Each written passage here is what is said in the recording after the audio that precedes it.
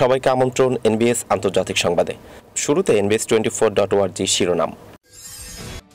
নেপালের পার্লামেন্টে মানচিত্র সংশোধনী বিল পাস, ভারতের ক্ষুব্ধ প্রতিক্রিয়া।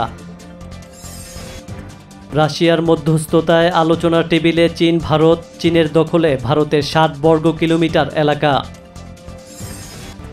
উত্তেজনা কমাতে চীনা কূটনীতিকের সঙ্গে গোপন বৈঠক করবেন মার্কিন পররাষ্ট্রমন্ত্রী পম্পেও।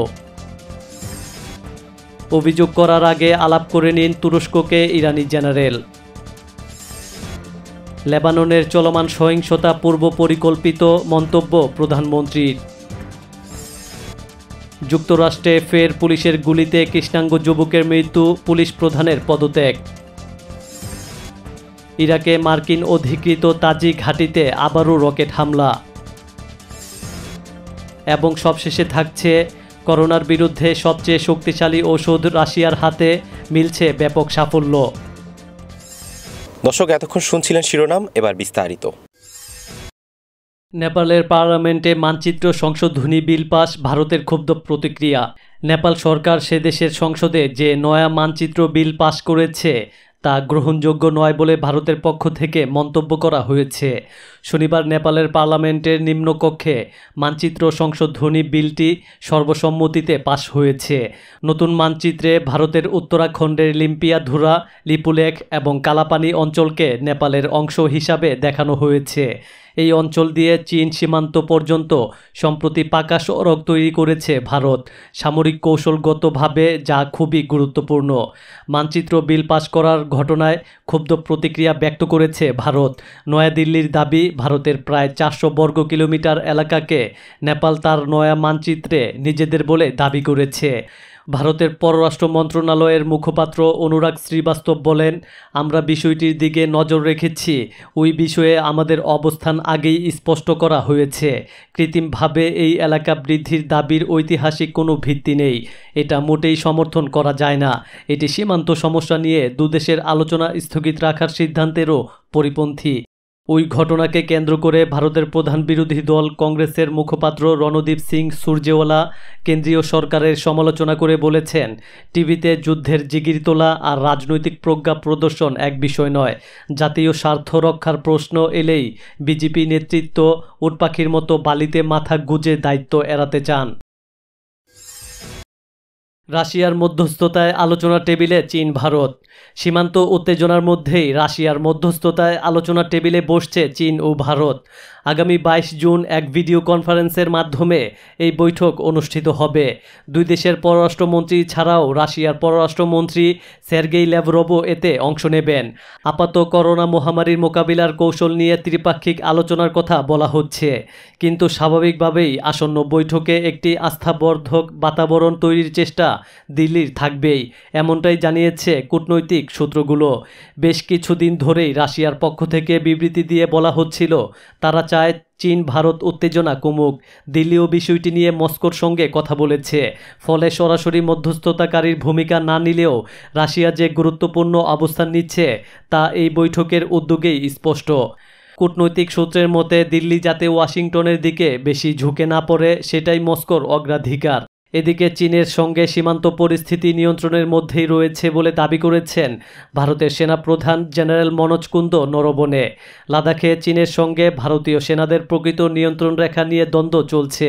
সেনাবাহিনীর স্তরে তা মেটানোরও চেষ্টা চলছে।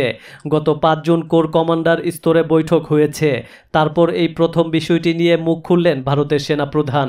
সংবাদ মাধ্যমকে তিনি বলেছেন সব কিছুই নিয়ন্ত্রণে রয়েছে। নিরন্তর আলোচনার মাধ্যমে মত পার্থক্য মিটিয়ে ফেলা যাবে বলে তিনি আশাবাদী। ভারতীয় সেনা প্রধান এমন মন্তব্য করলেও আগের বৈঠকে চীনা বাহিনী লাদাখ নিয়ে অনর মনোভাব দেখিয়েছে বলে জানিয়েছে ভারতের সেনা সূত্র মঙ্গলবার মেজর জেনারেল পর্যায়ে বৈঠক হয়। শুক্রবারই দুই সেনার মধ্যে স্থানীয় স্তরে বৈঠক হয়েছে। সেখানে চীন বুঝিয়ে দিয়েছে, তারা এখনই প্যাঙ্গক লেকের উত্তর তীরে ফিঙ্গার ফোর সংলগ্ন এলাকা থেকে সরতে নারাজ। পাহাড়ের যে অংশগুলো প্যাঙ্গক লেকের মধ্যে ঢুকে রয়েছে, সেগুলোকেই ফিঙ্গার বলা হয়। ফিঙ্গার ফোরের কাছে চীন অন্তত ষাট বর্গ কিলোমিটার এলাকা দখল করে রেখেছে বলে দাবি করেছে ভারতের সেনা সূত্র। পাঁচ মে থেকে চীন ওই এলাকা দখল করে বসে থাকায় ফিঙ্গার ফোর থেকে ফিঙ্গার এইট পর্যন্ত ভারতীয় বাহিনীর নজরদারি বন্ধ হয়ে গেছে। উল্টো দিকে চীনা বাহিনী সেখানে পাথরের বাংকার এবং কাঁচা ঘর তৈরি করে ফেলেছে। সামগ্রিক পরিস্থিতি নিয়ে মোদী সরকারের সমালোচনায় সরব হয়েছে বিরোধীরা। মোদী সরকারকে নিশানা করে কংগ্রেস নেতা আহমেদ পটেল বলেন, চীন আমাদের এলাকা দখল করে ফেলেছে, সে সময় মনে রাখা দরকার। কোন প্রধানমন্ত্রী কতবার চীন সফরে গিয়েছেন? নেহরু, রাজীব গান্ধী, নরসিংহ রাও, বাজপেয়ী একবার করে বেজিং গিয়েছেন। মনমোহন সিং গিয়েছেন দুবার। বাকি প্রধানমন্ত্রীরা কেউ সেখানে যাননি। আর নরেন্দ্র মোদী পাঁচবার চীনে গেছেন। মুখ্যমন্ত্রী হিসেবেও চারবার সেখানে গিয়েছেন তিনি। ভারতের সেনা সূত্র জানিয়েছে, চীন এতটাই অনর মনোভাব দেখাতে চাইছে যে, ভারতীয় সেনার সঙ্গে তারা বৈঠকও করছে। প্রকৃত নিয়ন্ত্রণ রেখার অন্তত সাড়ে তিন কিলোমিটার ভেতরে ঢুকে। সেই বৈঠকে তারা প্যাঙ্গক লেকের বিষয়ে কথাই বলতে চায়নি। বেইজিং মূলত পূর্ব লাদাখের গালোয়ান এলাকার বিবাদ মেটানো নিয়ে কথা বলছে। সেনা কর্মকর্তারা বলছেন, ফের কোর কমান্ডার স্তরে বৈঠকে প্যাংগং লেক সংলগ্ন এলাকা নিয়ে কথা হতে পারে। এরই মধ্যে রাশিয়ার মধ্যস্থতায় ত্রিপাক্ষিক বৈঠকের খবর এলো। এ খবর জানিয়েছে ভারতীয় সংবাদ মাধ্যম আনন্দবাজার পত্রিকা। উত্তেজনা কমাতে চীনা কূটনীতিকের সঙ্গে গোপন বৈঠক করবেন পম্পেও। উত্তেজনা কমাতে চীনের শীর্ষ পর্যায়ের কূটনীতিক ইয়াং জেচির সঙ্গে হাওয়াইয়ে গোপন বৈঠকে বসতে যাচ্ছেন মার্কিন পররাষ্ট্রমন্ত্রী মাইক পম্পেও। সম্প্রতি চীনের সাথে বিভিন্ন ইস্যুতে আমেরিকার উত্তেজনা তৈরি হয়েছে। এই সমস্ত উত্তেজনা তৈরির পেছনে মাইক পম্পেও সহ মার্কিন প্রেসিডেন্ট ডোনাল্ড ট্রাম্পের ভূমিকা রয়েছে। আমেরিকা ভিত্তিক সংবাদ মাধ্যম পলিটিকো শনিবার এক রিপোর্টে জানিয়েছে, মার্কিন পররাষ্ট্রমন্ত্রী মাইক পম্পেও গোপনে হাওয়াইয়ে সফর পরিকল্পনা করছেন, তবে বিষয়টি এখনও চূড়ান্ত হয়নি। পম্পেওর হাওয়াই সফরের বিষয়টি মার্কিন পররাষ্ট্র দপ্তর কিংবা ওয়াশিংটনে চীনা দূতাবাস নিশ্চিত করেনি। সম্প্রতি মাইক পম্পেও চীনের সঙ্গে বিভিন্ন ইস্যুতে তির্যক মন্তব্য করেছেন, যা বেইজিংয়ের অসন্তুষ্টির কারণ হয়েছে। করোনা ভাইরাসের মহামারী থেকে শুরু করে হংকং ইস্যু পর্যন্ত সব ব্যাপারেই কথা বলছেন তিনি। এমনকি চীন জাতিগত ও ধর্মীয় সংখ্যালঘুদের উপর দমনপীড়ন চালাচ্ছে বলেও অভিযোগ তুলেছেন পম্পেও। এদিকে হংকং থেকে প্রকাশিত ইংরেজি দৈনিক সাউথ চায়না মর্নিং পোস্ট অজ্ঞাত সূত্রের বরাত দিয়ে এক প্রতিবেদনে জানিয়েছে, চীনের স্টেট কাউন্সিলর এবং কমিউনিস্ট পার্টির পলিট ব্যুরোর সদস্য ইয়াং জেচি ওই বৈঠকে বেজিংয়ের পক্ষে প্রতিনিধিত্ব করবেন। অভিযোগ করার আগে আলাপ করে নিন তুরস্ককে ইরানি জেনারেল।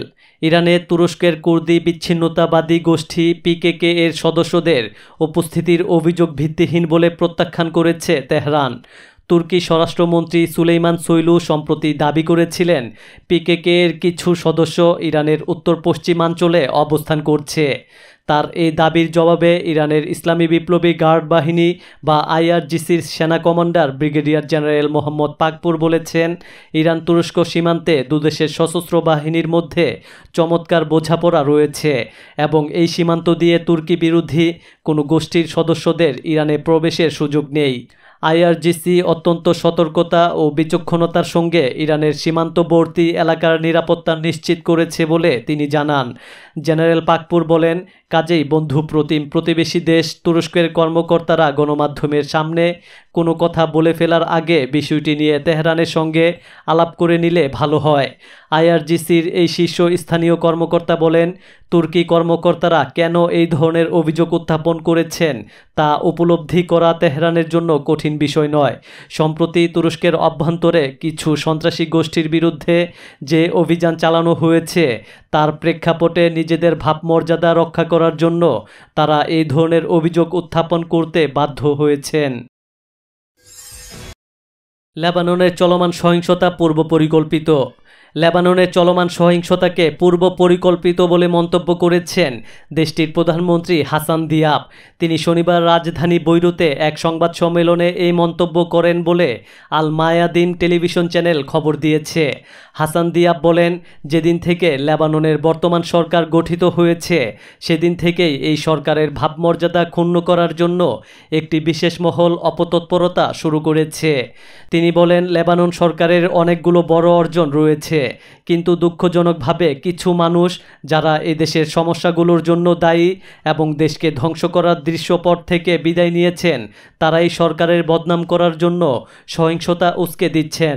মার্কিন ডলারের বিপরীতে লেবাননের মুদ্রা, লিরার দরপতন এবং বেকার সমস্যার প্রতিবাদে রাজধানী বৈরুত ও উত্তরাঞ্চলীয় শহর ত্রিপলিতে গত দুদিন ধরে বিক্ষোভ অনুষ্ঠিত হয়েছে। শনিবার বিক্ষোভকারীদের সঙ্গে লেবাননের নিরাপত্তা বাহিনীর সংঘর্ষে অন্তত বিয়াল্লিশ জন আহত হয়েছে। এছাড়া বিক্ষোভকারীরা হামলা চালিয়ে সরকারি, বেসরকারি বহু স্থাপনা ধ্বংস করেছে। যুক্তরাষ্ট্রে ফের পুলিশের গুলিতে কৃষ্ণাঙ্গ যুবকের মৃত্যু।